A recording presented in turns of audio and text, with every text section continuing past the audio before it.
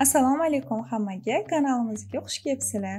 Bugun sizlar bilan osongina tez tayyor bo'ladigan ovqat pishiramiz.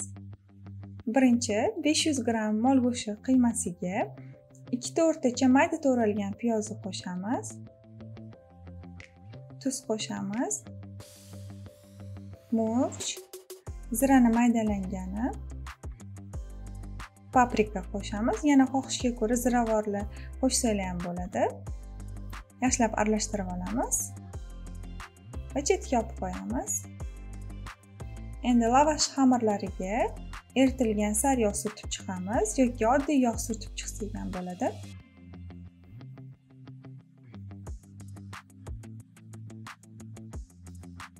Tayyorlab qo'ygan qiymamizni qo'yib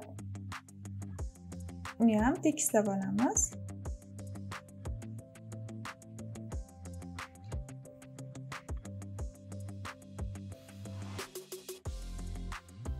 Man xamiri yupqaroq bo'lishini xohlaganim uchun lavash xamirlarini kesib oldim. Xohlasanglar kesmasliginglar ham mumkin. Hammasini shunaqa ko'rinishda o'rab olamiz.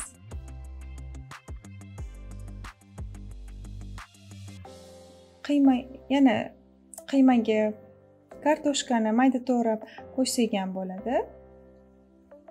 Yoki tovuq go'shti qiymasidan foydalansanglar ham bo'ladi. Unda ham juda ham mazali chiqadi. Hammasini shunaqa ko'rinishda o'rab olamiz rulet qilib o'rab olamiz. Hammasini o'rab olganimizdan keyin ikki uch santimetr qilib kesib olamiz. Bu orada duxovkani ham bir yuz to'qson darajada yoqib qizdirib qo'ygan bo'lishimiz kerak.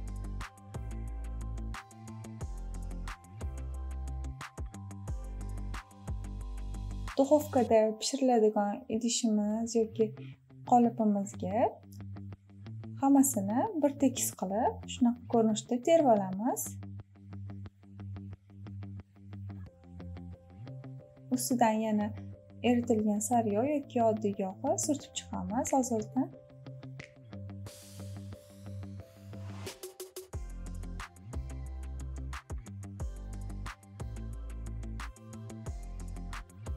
bir yuz to'qson darajada qizigan duxovkada o'ttiz minut davomida pishirib olamiz.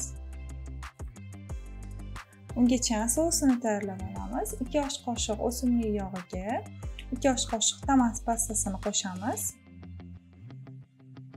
Bitta aylantirib qovurib olamiz. Mayda to'ralgan chesnoklarni qo'shamiz. Ularni ham bitta aylantirib qovurib bo'lib bir choy qoshiq quritilgan yalpiz qo'shdim. Xohlasangiz svejiy yalpiz ishlatsanglar ham bo'ladi. Tuz murch xohishga ko'ra qo'shiladi. Yuz millilitr suv qo'shib aralashtiramiz. Qaynab chiqqandan keyin bir ikki minut qaynatamiz. Ko'p qaynatib pishirish shart emas o'ttiz minutdan keyin ovqatimiz ustiga sousini quyib chiqamiz.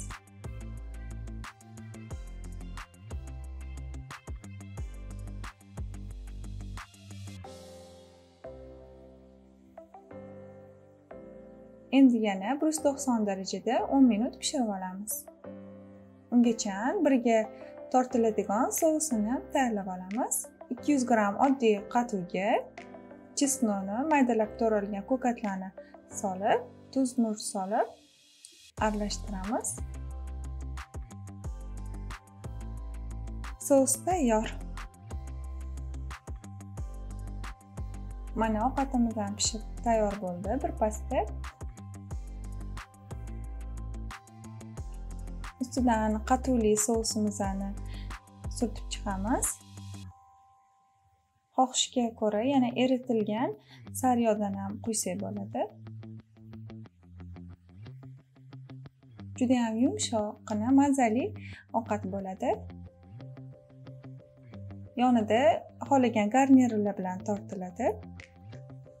Retsept yoqqan bo'lsa layk bosishi va kanalimizga obuna bo'lishni unutmanglar sog' salomat bo'linglar.